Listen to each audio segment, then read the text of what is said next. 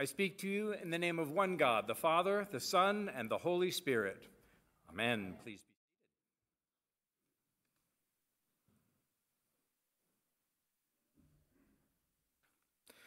You know, I just can't get that scene from the book of Acts that we just read, just can't get it out of my head. Picture it the disciples standing around watching Jesus' feet slowly float up to the clouds, and then poof, he's gone. And the disciples are left to linger in the places where Jesus used to be. How lonely must they have felt? As a number of you know, a few weeks ago, I had the chance to go back to my old seminary in Alexandria, Virginia, where Timothy Rutherford and I graduated just a year ago. And a lot has changed up there, even in one year. So maybe that's why I had a dream this last week of going to seminary, and while I was there, not recognizing a single person in my dream, and then finding that all of the familiar places had all changed. You know how dreams do that. By the way, I woke up feeling so glad to be here and not there. So thank you. But that's, I think, more than just my subconscious working stuff out in my dream. Haven't we all felt that way? Have you ever driven by your old childhood home? You ever drifted like a ghost down the hallways of your high school or down the streets of the city where you used to live, wondering where it all went? Every time Christian and I go to Sarasota, she's like, That wasn't there before. That used to be here and isn't there anymore. Do you know what that's like? And it's graduation season, too. So, with the stroke of a pen and a diploma and a cap and a gown, all of that pomp and circumstance is done.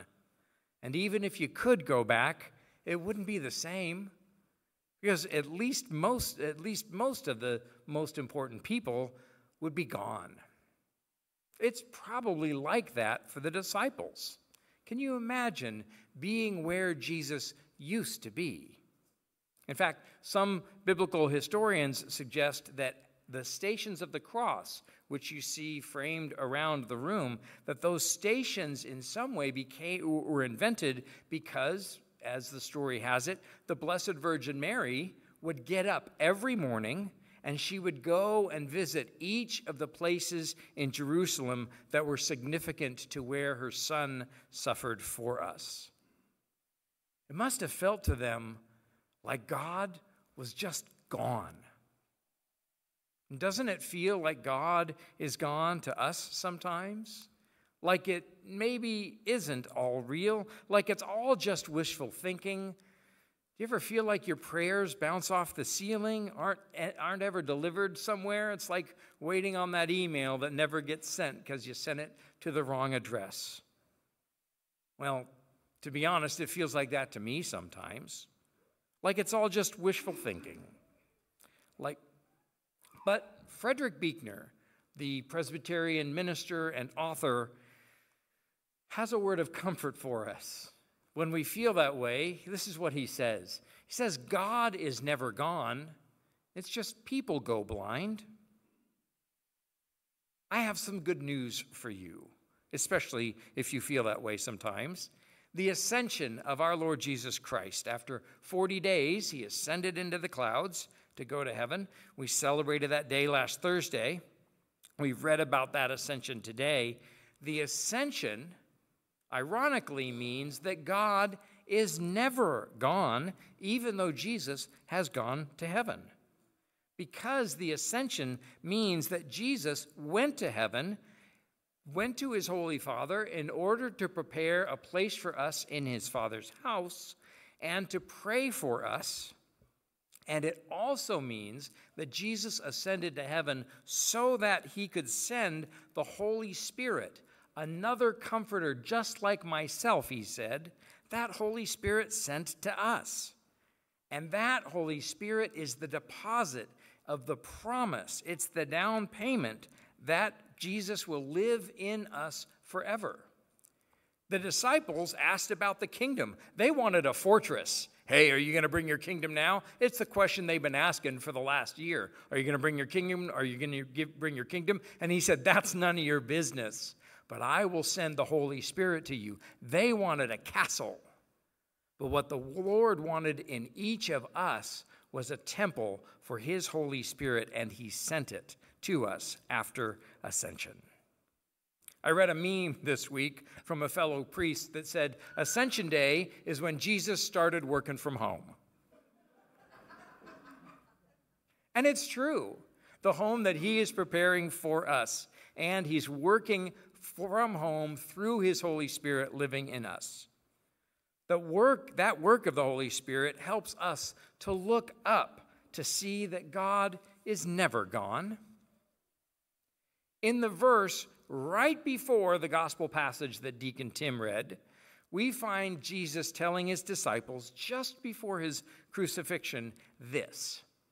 Right before this passage, he said, In this world you will have trouble, but take heart for I have overcome the world. And he was right. How many of us know about trouble in this world? But what does our liturgy say right in the middle of the Eucharistic service? Right in the middle of our troubles, right in the middle of our lives. I'm warning you, this is the audience participation participation part. Let's see if you can do better than the eight o'clock. This is what Jesus says to us when we are in the middle of our troubles Lift up your hearts. Well, the choir passes.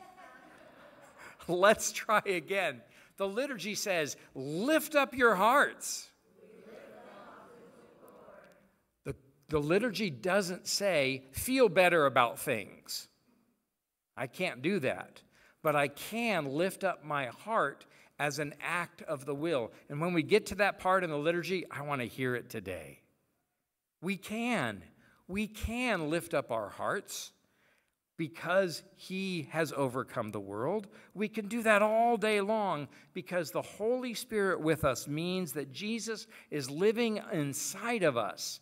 And he is doing that in order to restore us as St. Peter said, to make us strong, to make us firm, and to make us steadfast, even when, especially when, we can't see him anywhere and we, like the disciples, feel like God is gone. When it feels that way, we should look up from our trouble. The disciples must have done that for the rest of their lives, looking up to see if Jesus was coming back. I don't know if it, I don't know about you, but if it were me and I were a disciple, I would take the long way home and go past the Mount of Olives every day from lunch or whatever, just to see if he was coming back the same way that he left. The expectation was that Jesus was going to come back within their lifetimes, and that's a good expectation for us. In the collect that I prayed this morning, that we all prayed together at the beginning of the service, here's what we beg God. We say, Do not leave us comfortless in this troublesome world, but send your Holy Spirit. And that's what Ascension Day means.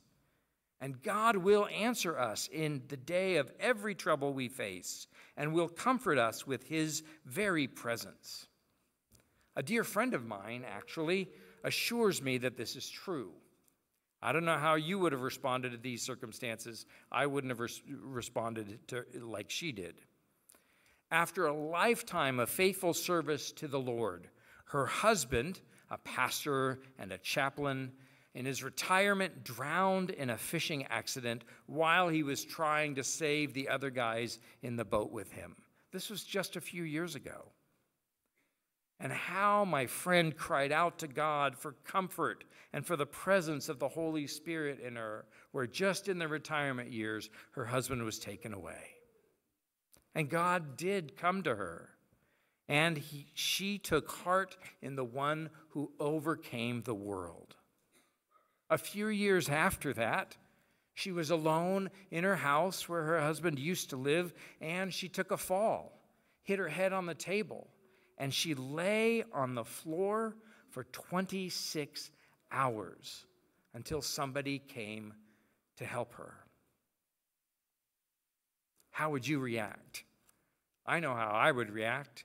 And much of this world would say, Yeah, I thought God was good, but then he took my husband and then he left me there sitting there. How could a good God allow things to happen? I spent my whole life in service to him. Don't you hear those kinds of complaints all the time? How did you survive? I asked my friend. She said, Oh, I just prayed and prayed and prayed. And then I recited every scripture that I could remember. And then I sang every hymn and song of praise that I knew, and I did it again. And you know what, Andrew? The Lord was there with me every hour. She looked up she looked up to the one who loves us. She looked up to the one who defends the widows, which is what our psalm said. This is not optimism. This is not self hypnosis to get in a better mood. This is not even her faith. You hear it all the time. Well, my faith keeps me going. My faith doesn't keep me going very far. My faith barely gets my shoes on in the morning. It's not my faith but it's in the one in whom I have a mustard seed of faith. It's not about me conjuring faith that things are going to work out all right. It's God descending on me, bringing comfort and answering every promise. The Comforter was with her every hour.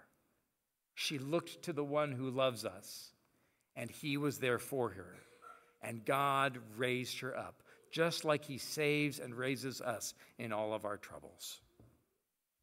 St. Peter, at the end of a long life full of trouble, pleads with us this way. This is what he urges us to do. He says, Humble yourself under God's mighty hand so that he may lift us up in due time. Not my timing, but in his. And he encourages us, encourages us to cast all our cares on him because he cares for us. Just like my friend, just like so many faithful people, just like so many of you whose stories I know, Peter knew about the fiery ordeal that comes to test us. You know people like that. In fact, many of you are people like that. Because of the presence of God inside of us, we can all be people like that, and we can trust in the promise by his ascension and sending the Holy Spirit that he will come back and claim us for his own someday. Maybe, hopefully, before the next election, before the end of this coming week.